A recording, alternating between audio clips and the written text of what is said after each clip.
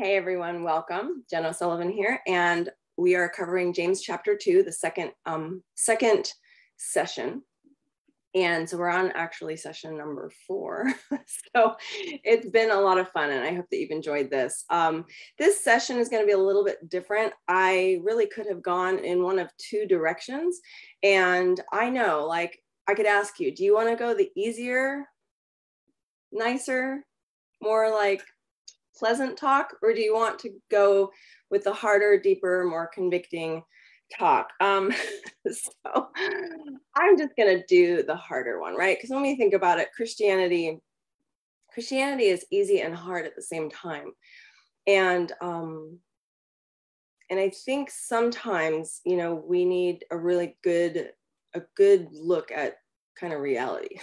So I have been prayerfully considering this one. I have been asking God to please protect the hearts of the hearers, to speak through me, to um, give me compassion and grace and love. Uh, let my words be encouraging and not just, um, you know, a conviction today. So, are you ready? This one may be a little bit rough, and I'm again prayerful that that it is a good one for you. So, let's talk about authenticity I, it's a kind of an interesting thing to me authenticity because i feel like it's sort of a buzzword and authenticity matters and everybody you know you need to be your authentic self and you know people can smell a fake a mile away. Um, you know we people watch we judge people. We tend to kind of you know look at the way someone dresses and make all sorts of assumptions about them. I remember um, years ago, I was what's considered a wealth indicator profiler for uh, hotels, for the hotel industry. So I worked within the events hotel industry and I would go in and um, part of a service that I would provide to this mastermind group that I was um, that I ran was that I would come in and help them profile, help them understand how to profile a wealthy person compared to someone who couldn't afford their services. and it was interesting because it was always backwards. The, the girls who were selling the big, huge events to the big families, um, you know, if it was a new family coming in, they would look for wealth indicators that they thought were wealth indicators, but they aren't actually wealth indicators. So it's it's funny. The the wealthy people try to look poor so they can save as much money as they can, whereas the poor people try to look wealthy to look like they deserve to be there somehow. It's really a weird flop of things, but it's why that the fakes industry is such a huge industry right? There's so many fake everything not only from our clothing to our purses to our jewelry but to um, you know our the makeup we put on the plastic surgery the injections you know no judgment on anyone getting any of that stuff but like any augmentation that you're doing to your body is because you're not happy right? You you want to be something that you're not. However however we're always trying to make it look real, right? Think that through. We're not going in for, you know, I don't know, lip injections or Botox or plastic surgery or breast augmentation or tummy tucks or any of that. We don't go in to want to come out and look like we got work done right I, I, hear my friends always saying like i'm looking for the doctor who's going to make me look the most natural like i've had work done but nobody can tell so it's the same thing with fakes. How can we do the best fake, you know, get the best? We joke in our household about Louis Vuittons, right? How can you spot a fake Louis Vuitton? There are some really good fake ones out there because they know the indicators now, you know, how they're lining up everything perfectly and, you know, certain indicators that you want to look for you know it's an interesting thing that that they're trying to fake it so well that even the most discerning eye can't tell okay what what does that look like, though, for, say, our faith? And I think about proof of life. I think about my own child, where I would, you know, I, I had him, I was excited about this new baby, and you know, I would run into his room in the in the middle of the night because I would have some panic attack that he wasn't living. And I would look and look for that little chest to rise and fall, you know, the little belly to rise and fall, to see any movement, right? Proof of life proof that he was there, proof that he is growing, you know, a guarantee, so, something. so when I think about you know, my faith and I think about, uh, is it sort of more of a, yeah, I want everything else in my world to be authentic, the real McCoy, the real deal. I want to make sure, you know, my kid is alive, that nobody's sick, everybody's good. But when it comes to our faith, how often are we, you know, are we sometimes like, yeah, I'm, I'm pretty sure. like, wait, what, what, man? So, you know, I think about Second Corinthians 3, 5, 13, 5, excuse me. excuse me, that says, examine yourselves to see whether you are in the faith. Now, I'm going to warn you real quick. Whenever I do a video like this, uh, a talk like this, I get spiritual warfare like crazy. so it's no wonder I'm like losing my voice here. Um, so if you can pray, pray, pray that the talk goes well today in the live session, but also here. Um, so examine yourselves whether to see that see whether to see you are to see whether you are in the faith, right? This is an important verse. We need to examine ourselves. Again, Second Corinthians 13, 5. And when I think about James chapter 2, there's a very interesting verse in there. It says, um, James 2:19 says, You believe God is one, you do well. So I think James is sort of saying that a little tongue in cheek, if I'm being honest. I, I, honestly think James is saying, hey, you believe God is one, you do well. You know, I mean, it's it's one of those things where people of those that day, right? He was talking to the Israelites, he was talking to Jewish Christians of the day, right? These these men and women who are now messianic Jews. And it seems that people were claiming that, right?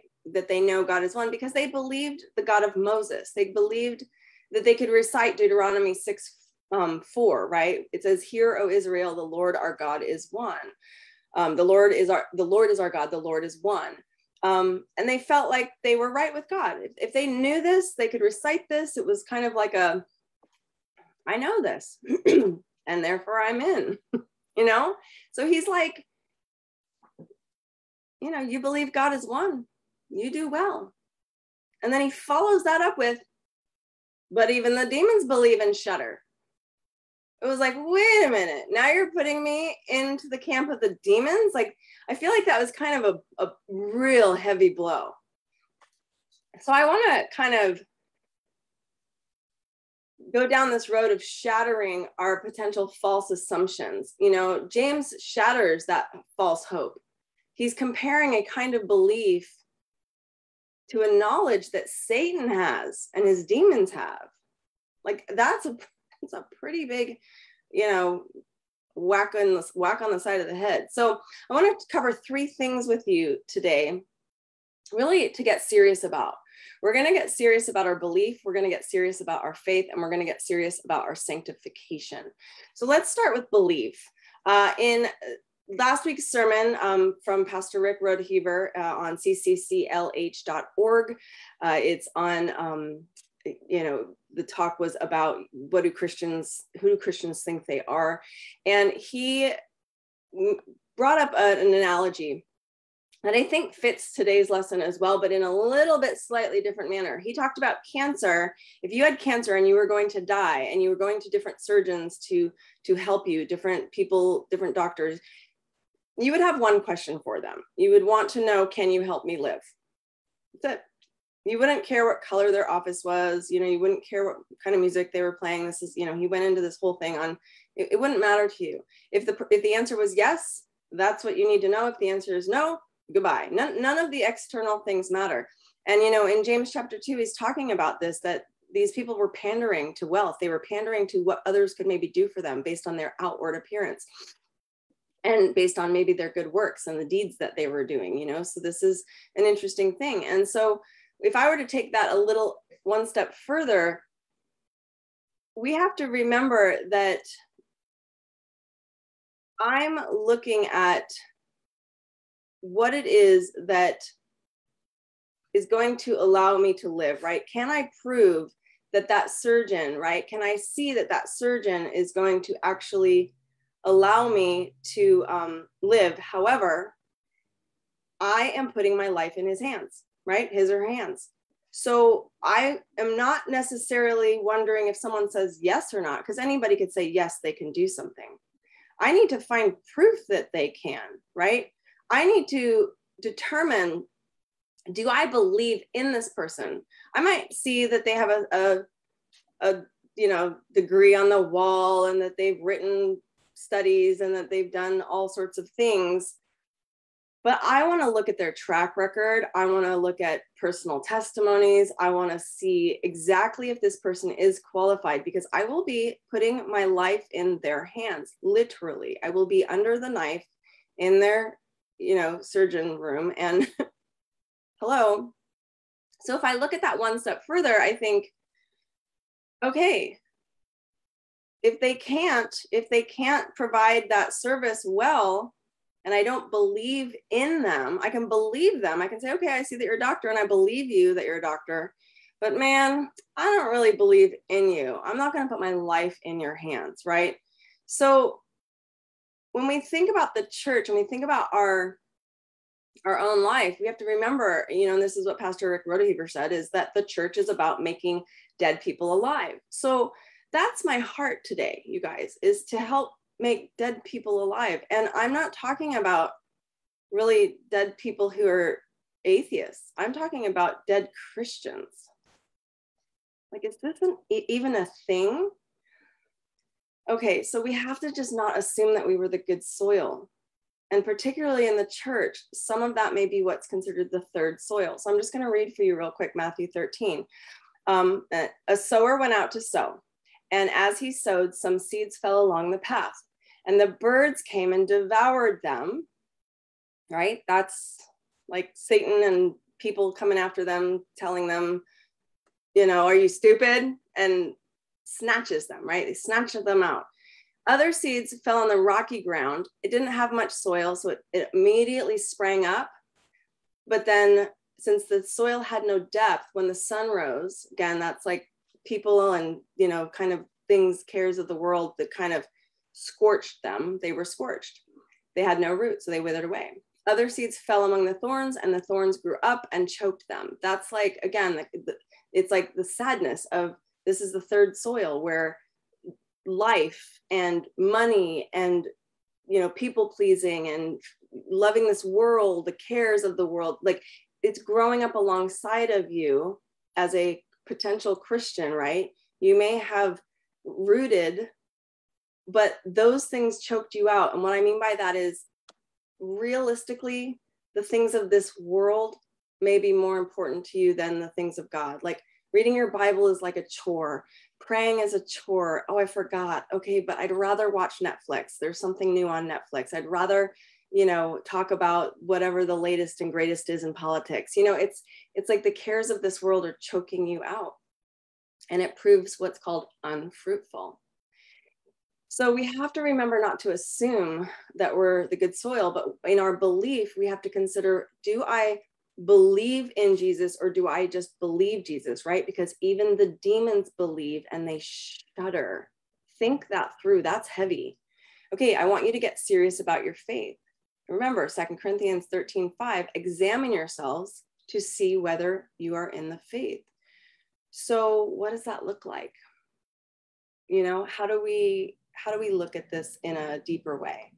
So my um, stepdad is today is his death day. I don't that it's just an odd thing for me to say. I've never experienced this before, but um, today they are taking him off life support. He went into the hospital three weeks ago. He was in and out. He just had some kind of breathing issues and troubles and everything was good and they sent him home and then he went back in and they everything was good and they sent him home and now all of a sudden he's having organ failure and he's dying today. And what i mean by that is they they there's nothing that they can do. He's on a respirator he's in an induced coma and they're taking him off of life support.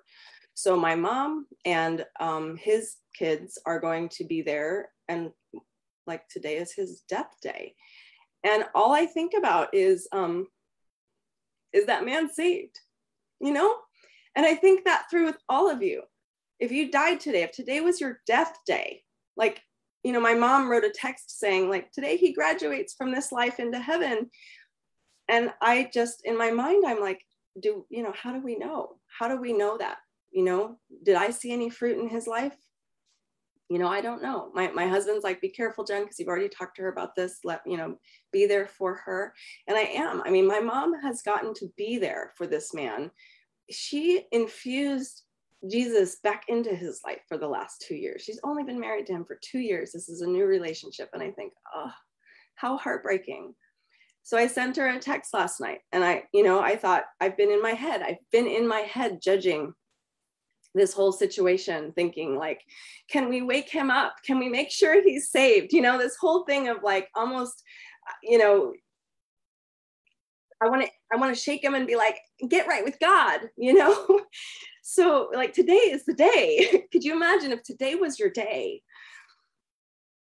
So I said, Mom, what an honor and blessing it is. It has been for you to faithfully serve him for the past two years as his wife and incredible caregiver. What a huge job God has given you to be strong for this man and his entire family during his passing. You are strong, and God has uniquely fashioned you for exactly a time as this. Rejoice, sister in Christ. Rejoice. And is my mom. And she said, I needed that like i needed that. Thank you. You know and that's that's you know something that i want to encourage you guys on that my heart for talking about this and i'm going to get into a deep a deep verse here in just a second. We're not going to have so much time to go over everything but in you know it's it's hard. I want you to read matthew 7 today. It starts with the do not judge and all that. I want you to read the whole thing. But 21 says you know 21 through 23 it says not everyone who says to me lord lord will enter the kingdom of heaven but the one who does the will of my father who is in heaven.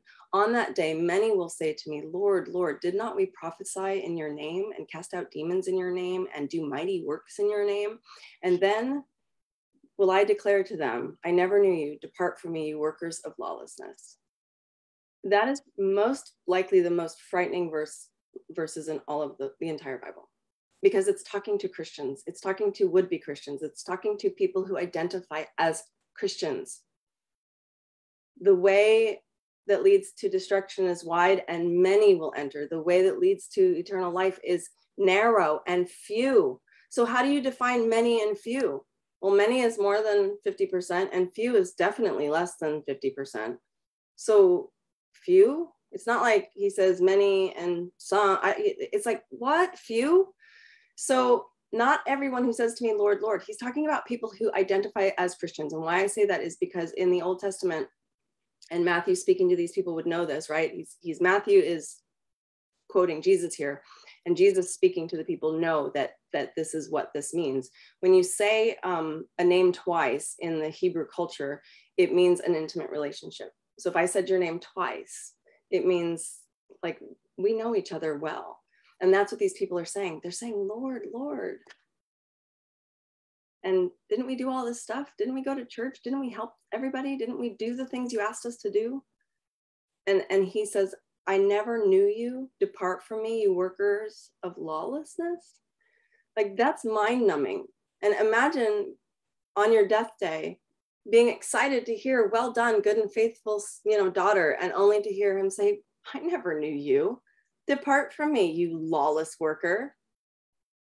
Okay, so I want you to get serious about your sanctification.